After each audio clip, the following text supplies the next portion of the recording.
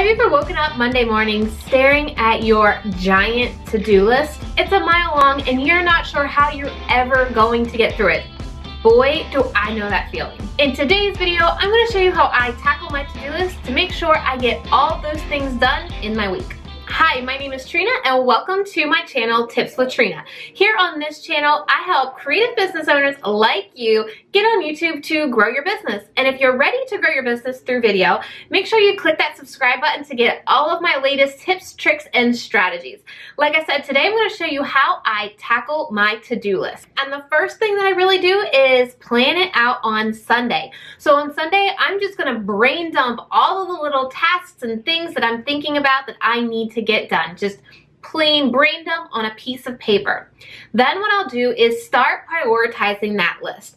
I like to grab different colored highlighters to figure out what has to get done, what would I like to get done, and what is something I want to get done, but it's not top priority. This allows me to see, you know, how heavy my to-do list is that week. Then I like to take all of these things and move them into Trello. Paper planners are great and I love my Erin Condren Life Planner, but having everything on Trello electronically just allows me to keep everything in one spot so I don't have 25 different to-do lists and 10 different notebooks all over my house. Trello really keeps me accountable and it makes sure I don't let things slip through the cracks. So let me show you how I set up my Trello weekly board. So this is what my weekly Trello board looks like. So on Sunday, once I write everything down on paper, I'm going to just put them in here in my brain dump so that I can easily just grab this and decide where I'm going to work on it that day.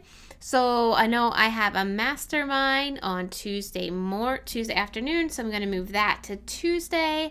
Um, I also know my YouTube bootcamp call is on Wednesday at 1, which is before my Facebook Live. So these little labeled ones right here are things I do every single week, so I don't have to keep replacing them.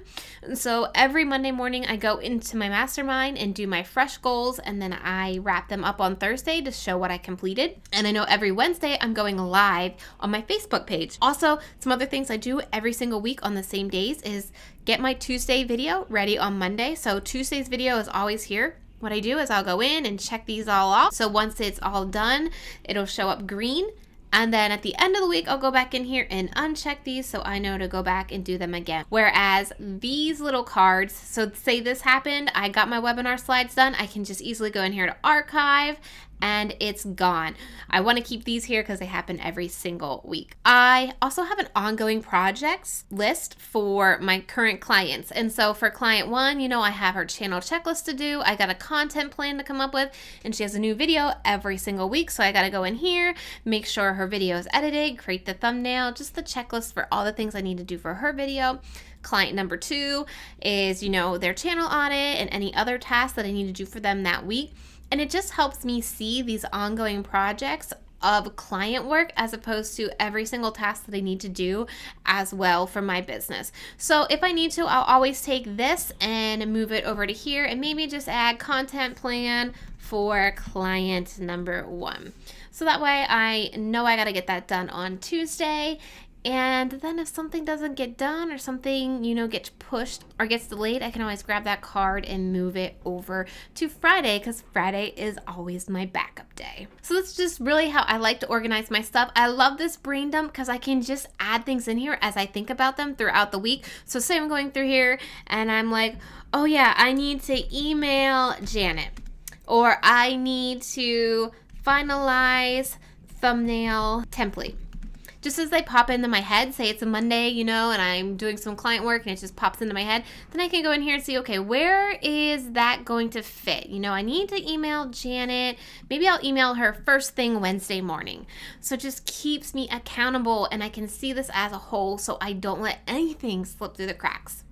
Know what tools are you using to plan your week. I always love to improve my strategies and get more tips from you. So let me know down in the comments how you plan out your week. And don't forget, if you want to check out how I'm setting my goals this year, click the video that's on your screen right now. And if you want to continue to grow by using video, make sure you click subscribe. Thank you so much for watching and I'll see you in the next video. Bye!